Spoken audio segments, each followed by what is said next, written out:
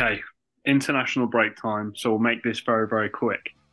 If you are watching us and you're not subscribed, do us a favor, please hit that subscriber button. You'll be in a very exclusive club of the first 1,000 people, hopefully 1,000 people who will have subscribed to Box to Box Football. While you're down there, drop a like on the video. And also, quite a hot topic at the moment. So, any questions or, or comments that you do have, put them down in the uh, comment section. But, James, international break gives us a really good opportunity to have a conversation that we've been wanting to have for a little while now. VAR. Is it good? Is it not good? Does it take too long? Um, are we even getting the right decisions anymore? Is it make is there more controversy? Is there more to talk about? Some areas I think where you and I have some frustrations. Total free ball conversation. We'll just title the video something like VAR. Go. What what do what do you want to say? Because I know I've got some stuff to say. Um, Jack, I'm a bit like on it where I know everybody's like VAR is ruining the game oh, it takes too long, all that sort of stuff. And I'm and I'm 50 and I'm 50-50 in terms of view of it um ruining the flow of the game. It taking 10, 15 minutes to just look and, and get an answer right is annoying. But I'm guessing if you want to get the right answer, take your time. Um my thing is people talk about it ruining the game. No, it doesn't. In my opinion, in terms of view of like getting decisions right. VAR averagely, Jack, have gotten the decision right most of the time. My biggest issue, go on, Jack. Can I just I just want to add to your point. Um, so guys, before VAR was introduced, uh, after studies of hundreds and hundreds of games, the review was that referees in general get it right about 93% of the time. That was kind of the going rate for, for football matches and referees making correct decisions. And that could be as something as easy as a throw in going to the right team, whatever. With the implementation of VAR, we're up to 98.8%. Now, some of you might be thinking, well, that's not good enough. If it's VAR, it should be 100% it's a subjective game. A lot of the rules can be interpreted to interpreted a different way. 98.8% is a massive improvement on 93%. To your point, we are 100% living in an era where we have more correct decisions than ever. But go ahead, sorry. Um, yeah, I, I just kind of lost my train of thought. My issue with VAR is sometimes how it's used and how we want to do it for every minute thing, every tackle. Yeah, every sort of goal offside. We want to get it to the right detail, and people are always like, "It's to me, it's to me." The challenges right now is a big thing. People want to look every single challenge. Oh, like did he go over a little bit? And sometimes your momentum would, would like take you over. And sometimes it's just a pure accident.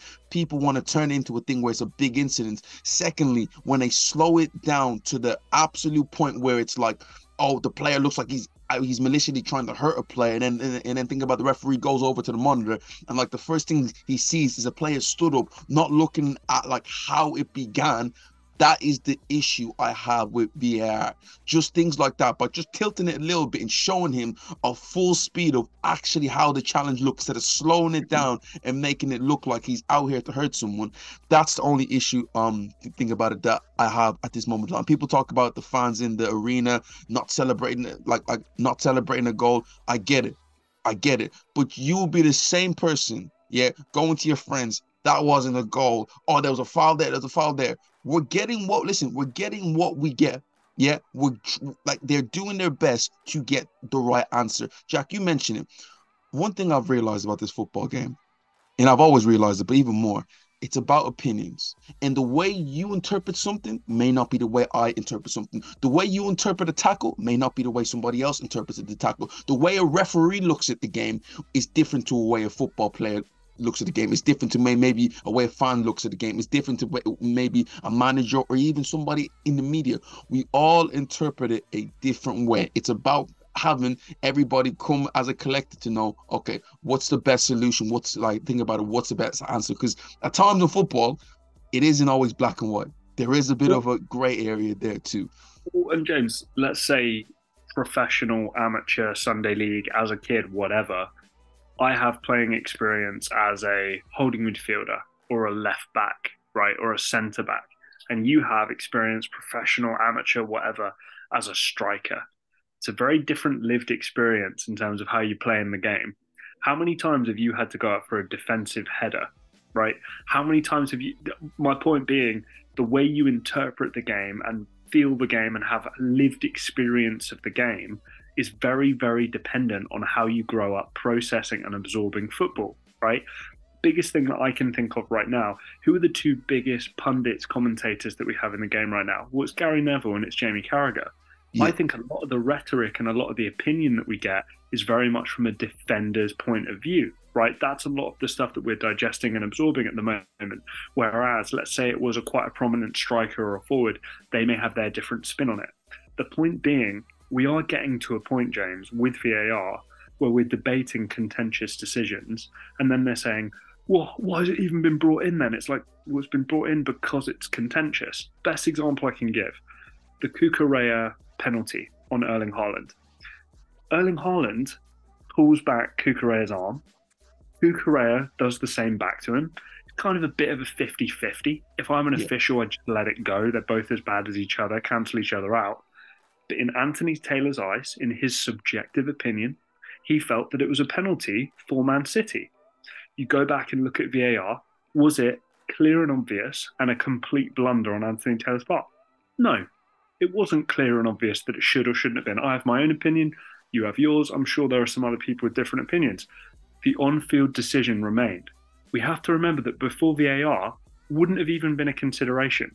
No. Every single egregious error, egregious error, offside by a mile, blatant handball, definite red card offence, whatever, those are now, we are getting the correct result. There's nothing to complain about on a Monday morning at work, apart from the coin flip subjective 50 50 decisions. All of the horrible ones that cost people money, their livelihoods, competitions, finals, trophies, those have been by and large eradicated. I, I have so much praise for VAR, and every time it gets right, James, no one no one cheers, no one makes a big song and dance about it. It's just yeah, good. That's what it's there for. But then we get one contentious one that results in a free kick or a goal kick that should have been a corner or whatever, and we have this huge debate about it, and Twitter explodes. I don't get it. Oh, Jack, you know, you bring it up there, Jack. You said it perfectly right there. Let's just go back in history. Let's just mention some big games how VAR would have got that decision right. For instance, right now, Chelsea versus Barcelona in 2009. Are you trying oh. to tell me VAR wouldn't have given Chelsea a few penalties that day? Right. Henry's handball against Ireland. VAR would have clearly said, handball there, yellow card to Thierry. Um, I don't know, Diego Maradona's punching Diego hand of God. Yeah, it's there for a good reason. It's right. not every freaking minute thing that we have to look at. If Jack, if that's the case, then we might as well just get VAR to referee the whole game, the, the whole game and everything, right. you know, in it. Yeah, I listen. I've accepted. Yeah, referees are a bunch of donuts and they're going to make mistakes. Sure. I listen. I've accepted that. You know, it is what it is. Listen, football is a is, is an it's a human game. Players make mistakes, referees make mistakes. We have to accept that. But VAR is here to clear up as much as possible to get right. the right to meet to um to get the right decision.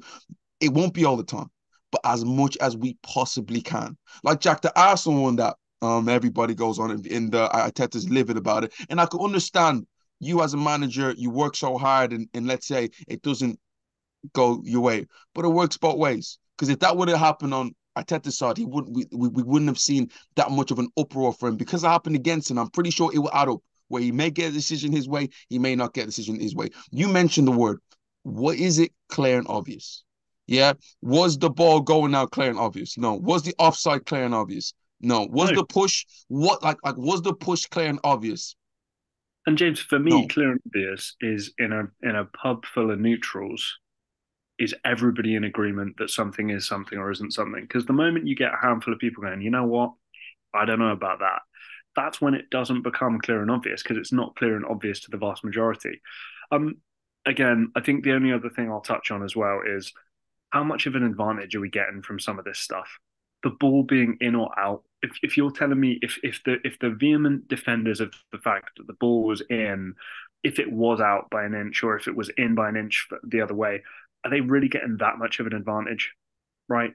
In the same way, like that Cucurella Haaland one, could Cucurella have done something different there? Could Haaland have done something? Do, do, do you see what I mean? It's like how much of an advantage are they really getting? If Henry handles the ball into the goal, if Maradona handles the these kinds of things, and they're winning tournaments and finals and stuff, clear, clear advantage. If it's just these kind of one-off kind of things that keep happening, I don't know how much of an advantage is really being gained over the whole course of the game. Is that the reason you lost, or were you not well prepared? Did the other team play a bit, bit better than you? Blah blah blah blah. We Jack also mentioned that too. That makes a big difference. That makes it big. Sometimes uh, uh, what what um, managers seem to do is just just take that one moment. Granted, listen, it's hard to score a goal. Listen, sure. it's really really is like it's hard to score a goal. But sometimes when your team does play trash, that's the easiest thing to do is just point out oh that VAR VAR, forgetting about how bad his team played or the lack of chances that was that, that was created um from a team. And guys, we, we have to look at what the, the beast we're dealing with here. Set pieces. If you look, try and not pay attention to James Ward Prowse taking a corner and take a look at Thomas Soucek. Take a look at um, Coufal. Take a look at Michail Antonio. Take a look at Jarrod Bowen. Take a look at what all these guys are doing in the box with their opponents in them. There's grabbing, there's arms absolutely everywhere.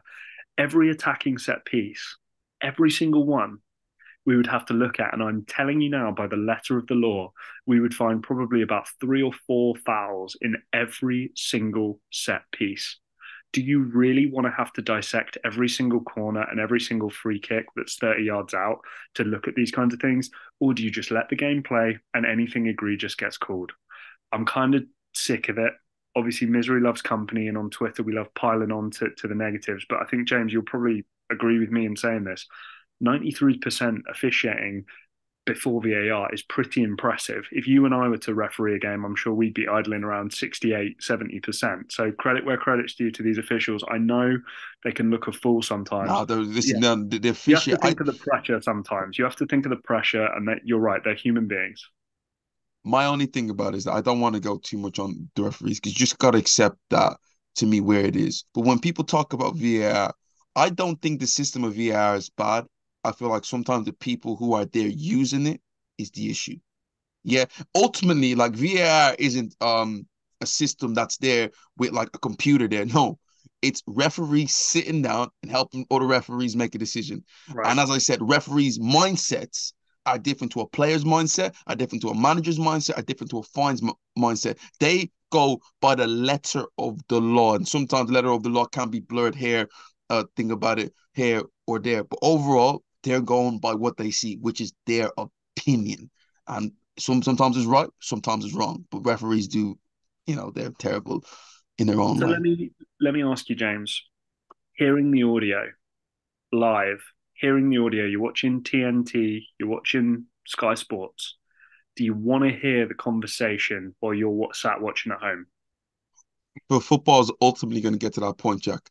You know, it's ultimately going to uh, get to that point. Personally, no personally, like if it's no, I don't really I, I don't want to get too, you know, Americanized with with like the way we do stuff here. Uh, it, you know. I think it's less not not not holding defense, blah blah. I'm talking like rugby, right? The the ref has a body cam. The ref is mic'd up. You can hear what the ref's saying all the time, right? And when when they go to the booth and they go, right, what are we going to do about this one? That that is communicated and then people might say, well, there's going to pick up on a lot of swearing and there's going to be this and there's going to be this. Where's the kind of privacy aspect? As far as I'm concerned, if we want to have that culture change, if that's something we want, then it needs to be implemented. I, I would like to hear the thought process because at least then I can go, well, here's what they thought, and I can I can kind of live with that. Saying that, James, I'm also happy not hearing it, and then it just being leaked later when when a big mistake is made. You know. Same, same. But I want to hear what everybody else has to um, say about this. You know, I know a lot of people get brainwashed by listening to some somebody like I tell you this. I'm going to mention being like a, one a team like beIN Sports with Richard Keys and Andy Gray. They are just the most unbearable people when it comes to that. And if you guys share their opinion, let me know. If you share opinion over Gary Neville, let me know. If you have your opinion, comment down below. Is VAR good for football? Is it bad for football? Let us know, guys. This is Box to Box Football. This is Jack and James, and we'll see you guys next time.